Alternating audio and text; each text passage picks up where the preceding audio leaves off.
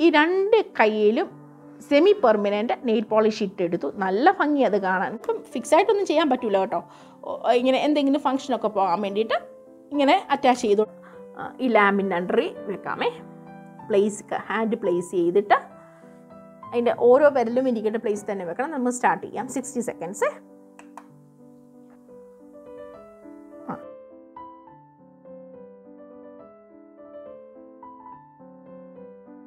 Friends നമസ്കാരം. Welcome to Nithu Indo Italian dishes ഇന്ന് ഞാൻ ഇറ്റാലിയൻ ഇറ്റാലിയൻ ഡിഷു അല്ല ഇന്ത്യൻ ഡിഷു അല്ല. ഞാൻ ഇന്ന് ചെയ്യാൻ പോകുന്നത് മറ്റൊന്നുമല്ല നമ്മുടെ സെമി പെർമനന്റ് ആയിട്ട് നെയിൽ പോളിഷ് അപ്ലൈ ചെയ്യുന്നത് എങ്ങനെയാണ്?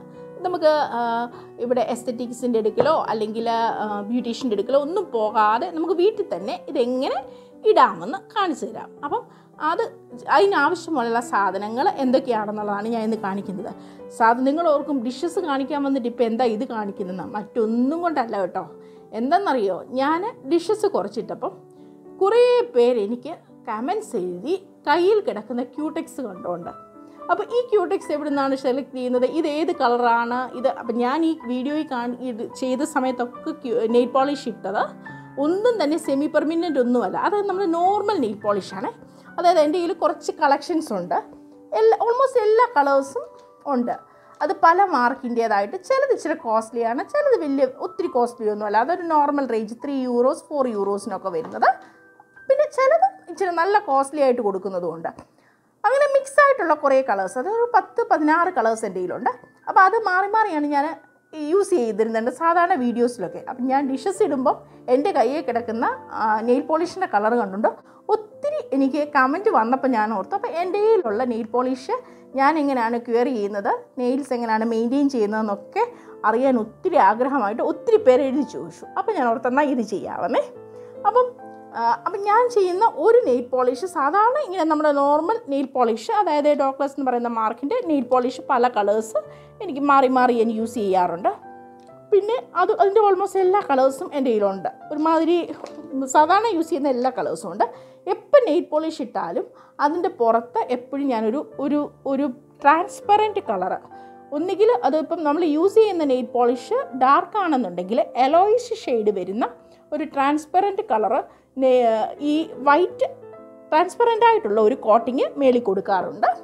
അതല്ല നാം ഞാനിപ്പോൾ യൂസ് ചെയ്യുന്നത് ഇപ്പം ഒരു ലൈറ്റ് കളേർഡ് നെയ്റ്റ് പോളിഷ് ആണെന്നുണ്ടെങ്കിൽ അതിന്റെ പുറത്ത് ഇതിങ്ങനെ ഒരു ഇതുണ്ട് ഈ പിങ്കിഷ് ഷെയ്ഡുള്ള വരുന്ന ട്രാൻസ്പെറന്റ് ആയിട്ടുള്ള നെയ്റ്റ് പോളിഷ് അതിന്റെ പുറത്ത് കോട്ടിംഗ് ആയിട്ട് യൂസ് ചെയ്യാറുണ്ട്. അപ്പം ഇത് രണ്ടും നമ്മൾ ആദ്യം ഇന്ന് നെയിൽ പോളിഷ് ഇട്ടതിന് ശേഷം അതായത് സാധാരണ നോർമൽ നെയിൽ പോളിഷ് അപ്ലൈ ചെയ്തതിന് ശേഷം ഇത് ഇങ്ങനെ ഏതെങ്കിലും ഒരു നെയിൽ പോളിഷായി യൂസ് ചെയ്യുന്നുണ്ട്. അതിന് അപ്ലൈ ചെയ്തതിന് ശേഷം ഇത് ലോങ് ലാസ്റ്റ് ചെയ്യാൻ വേണ്ടിയിട്ടാണ് ഇങ്ങനത്തെ കളേഴ്സ് യൂസ് ചെയ്യാറുള്ളത്. കോട്ടിംഗ് ആയിട്ട്. അതായത് അപ്പോൾ അങ്ങ് വേറെ ഗുണമോടുണ്ട് ഇത് അപ്ലൈ ചെയ്ത് കഴിയുമ്പം നമ്മൾ ഇടുന്ന നെയിൽ പോളിഷിന് ഹൈലൈറ്റ് കൂടും. അതായത് ഗ്ലേസിങ് ഉള്ളത് കൊണ്ടും ലോങ് ലാസ്റ്റ് ചെയ്യാനായിട്ടും അത് നമ്മളെ സഹായിക്കും. അതിനാണ് ഇത് യൂസ് ചെയ്യുന്നത്.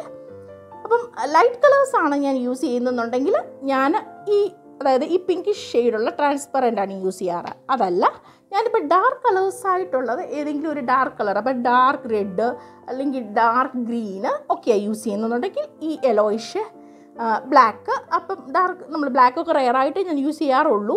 എങ്കിലും ബ്ലാക്ക് ഒക്കെ ഇടുന്നതെന്നുണ്ടെന്നുണ്ടെങ്കിൽ അതിന്റെ പുറത്ത് ഞാൻ കൊടുക്കുന്ന കോട്ടിങ് ഈ എലോയിഷ് വരുന്ന ട്രാൻസ്പെറന്റ് ആണ് യൂസ് ചെയ്യുന്നത്. ബ്ലാക്ക് കൂടുതൽ എന്റെ മോളാണ് യൂസ് ചെയ്യാറുള്ളത് ശരിക്കും പറഞ്ഞാൽ ഈ ഈ നെയിൽ പോളിഷസ് ഒന്നും എന്റെതല്ല കേട്ടോ എല്ലാം അവളുടേതാണ്. ഞാനതിൽ നിന്നെല്ലാം എടുത്തിട്ട് യൂസ് ചെയ്യത്തേയുള്ളൂ അപ്പം കുറേ അങ്ങനെ കുറേ കളക്ഷൻസ് ഉണ്ട്. ഇങ്ങനെയാണ് നിങ്ങൾ സാധാരണ യഥാർത്ഥത്തിൽ സെലക്ട് ചെയ്യേണ്ടത്.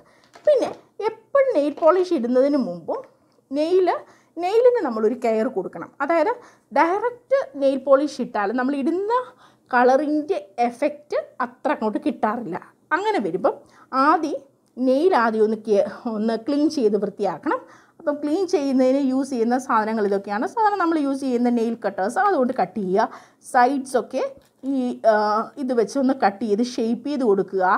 ഷേപ്പ് ചെയ്തതിന് ശേഷം നമ്മുടെ കയ്യിലുള്ള ഈ ഇത് വെച്ച് അതായത് ഈ ഇത് വെച്ച് അകത്തുള്ള ചെളിയോ അല്ലെ എക്സ്ട്രാ സ്കിന്നിന്റെ ഗ്രോത്തോ ഒക്കെ ഉണ്ടെന്നുണ്ടെങ്കിൽ അതൊന്നിങ്ങനെ ഷേപ്പ് എടുത്ത് കളയുക.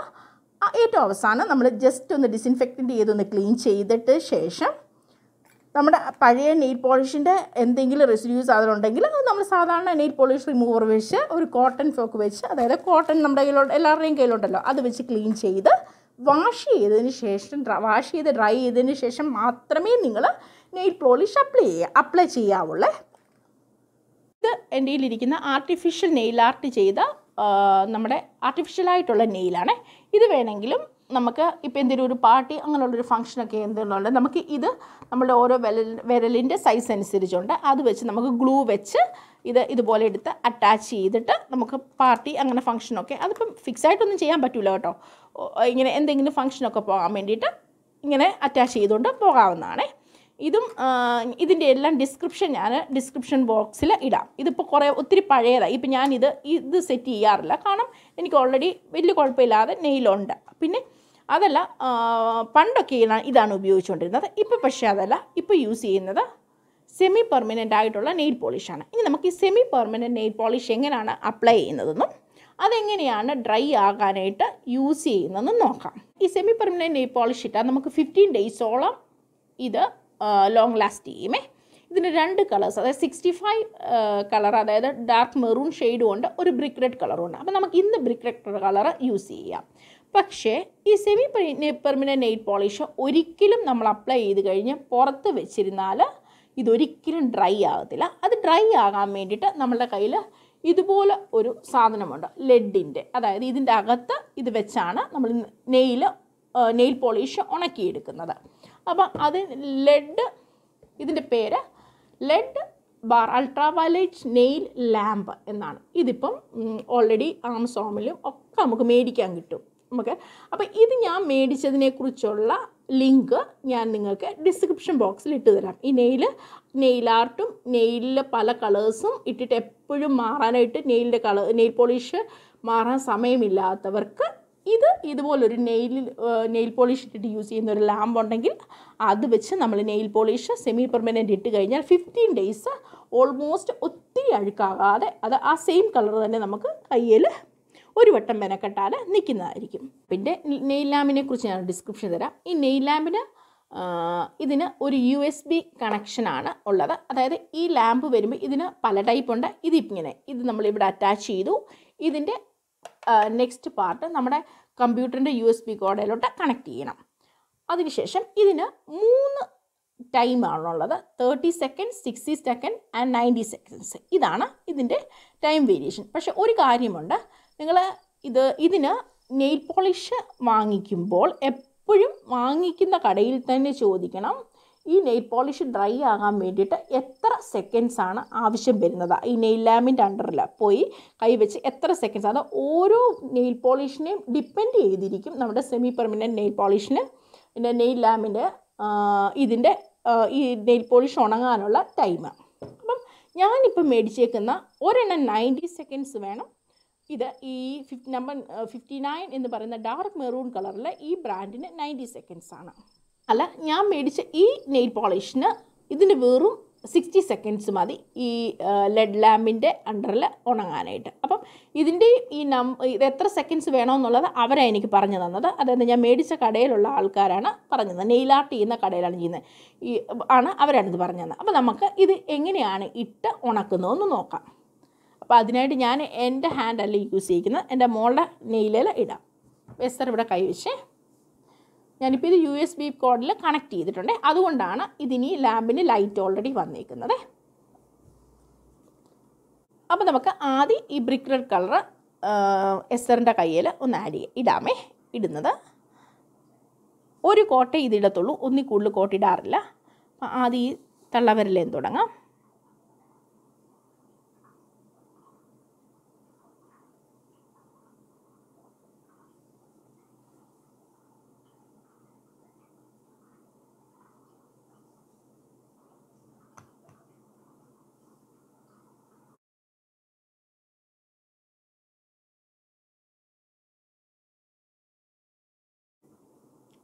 ഇതിൽ ഒരു ഒരു നെയിലിൽ അപ്ലൈ ചെയ്തതിന് ഒരു സ്വല്പം ഔട്ട് സൈഡിൽ വന്നേ അപ്പോൾ നമ്മളൊരു ബഡ്സ് എടുത്ത് അതിന്റെ സൈഡിൽ നിന്ന് അതങ്ങ് തൂത്ത് കളഞ്ഞേ.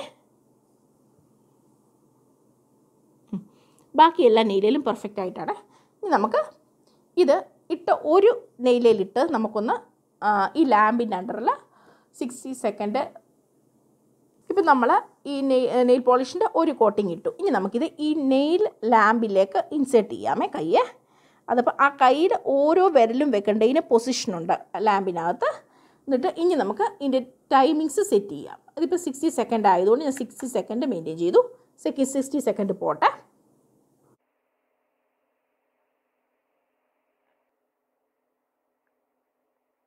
ഇപ്പം ഓൾറെഡി സിക്കി സിക്സ്റ്റി സെക്കൻഡ്സ് കഴിഞ്ഞു. നമുക്ക് ഞാൻ നെയിലൊന്ന് നോക്കാം. ഇപ്പോൾ കണ്ടോ? ഈ നെയിൽ പോളിഷ് നന്നായിട്ട് ആ സിക്സ്റ്റി സെക്കൻഡ് കൊണ്ട് നല്ല സൂപ്പറായിട്ട് ഉണങ്ങി വന്നിട്ടുണ്ട് കണ്ടോ? അതാണ് ഈ നെയിൽ ലാമ്പിന്റെ പ്രത്യേകത. നമ്മൾ നെയിൽ ലാമ്പിൽ സിക്സ്റ്റി സെക്കൻഡ് കൊണ്ട് പെട്ടെന്ന് ഉണങ്ങി കിട്ടും. പക്ഷേ നമ്മളിത് ഈ പ്രൊസീജിയർ നമ്മൾ കടയിൽ പോയി ചെയ്യുന്നതിൽ മുപ്പത് യൂറോ നാൽപ്പത് യൂറോ ഒക്കെ കൊടുക്കണം. അതാ ഇത് വീട്ടിൽ ചെയ്താലായിട്ട് ഈ ലാമ്പ് ഒന്ന് മേടിക്കുന്നതിന്റെ പ്രശ്നം മാത്രമേ ഉള്ളൂ. നമുക്ക് വീട്ടിൽ തന്നെ നെയിൽ പോളിഷ് ഉണ്ടെങ്കിൽ ഇതുപോലെ ചെയ്തെടുക്കാം. അപ്പോൾ നമുക്ക് ഈ കൈ റെഡിയാക്കി എടുത്ത് ഈ കൈ ഇത്ര ഭംഗിയാക്കി എടുത്തപ്പോൾ തന്നെ നമുക്ക് അടുത്ത കയ്യിലെ നഖത്തിലൂടെ ഇടാം. ഇവളുടെ നഖം നല്ല രസമാണ് കേട്ടോ. അതുകൊണ്ട് നല്ല ഭംഗിയാണ് അവളുടെ നഖത്തിലിട്ടല്ല എന്റെ നഖത്തേനേക്കാളും ഭംഗിയാണ് അവളുടെ നഖത്തിലിടുന്നത്.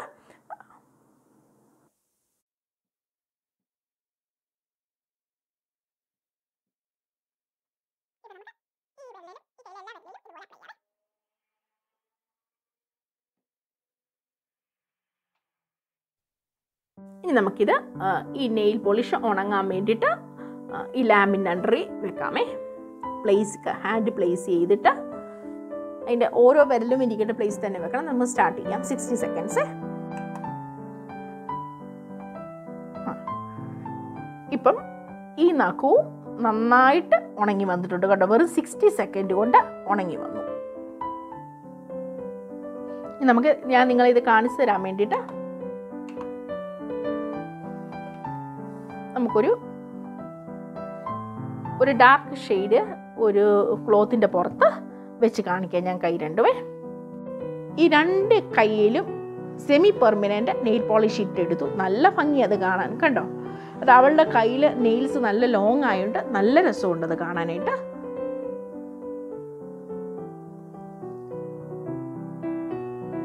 കണ്ടോ? ഇതിപ്പോൾ ടീനേജേഴ്സിനും ഒക്കെ ഇഷ്ടമുള്ള ടീനേജേഴ്സിനൊക്കെ ഇത് നല്ല ഭംഗിയായിട്ട് ഇട്ടാൽ കാരണം എപ്പോഴും ഇതിന്റെ പുറകെ നിൽക്കേണ്ട ഒരിക്കൽ ഇട്ടാൽ ആ കളർ നമുക്കൊരു പത്ത് പതിനഞ്ച് ദിവസം വരെയും ഇങ്ങനെ ഈ ഒരു മിഷൻ ലാമ്പ് കൊണ്ട് അതിന്റെ നെയിലും നെയിൽ പോളിഷും വാങ്ങിയാൽ ഇങ്ങനെ നമുക്ക് ഇത് യൂസ് ചെയ്ത് പതിനഞ്ച് ദിവസത്തോളം ഈ നെയിൽ പോളിഷ് പോകാതെ നിൽക്കും അപ്പോൾ എന്റെ ഈ സെമി പെർമനന്റ് നെയിൽ പോളിഷ് ഇട്ടത് നിങ്ങൾക്ക് എല്ലാവർക്കും എല്ലാവർക്കും ഇഷ്ടപ്പെട്ടെന്ന് വിശ്വസിക്കുന്നു. നിങ്ങൾക്ക് ഒരു പുതിയ അറിവാണെന്നുണ്ടെങ്കിൽ എല്ലാവരും പുതിയതായി എന്റെ ചാനൽ സബ്സ്ക്രൈബ് ചെയ്യാത്തവർ സബ്സ്ക്രൈബ് ചെയ്യുക. ഇത് ടീനേജേഴ്സ് ഗേൾസിനൊക്കെ ഒത്തിരി ഇഷ്ടപ്പെടുന്ന ഒന്നാണെന്ന് എനിക്ക് തീർച്ചയായിട്ടും അറിയാം. അപ്പം അടുത്ത നല്ല വെറൈറ്റി ആയിട്ടുള്ളൊരു വീഡിയോയുമായി വരുന്നിടം വരെ എല്ലാവരും ടേക്ക് കെയർ. Bye bye.